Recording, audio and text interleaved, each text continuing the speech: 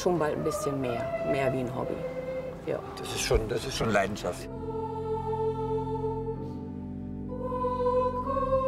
Es gibt sehr viele Parallelen zwischen Fußball und Religion. Wir pilgern ins Stadion, wir betreten den heiligen Rasen. Es ist ein Gefühl von zu Hause.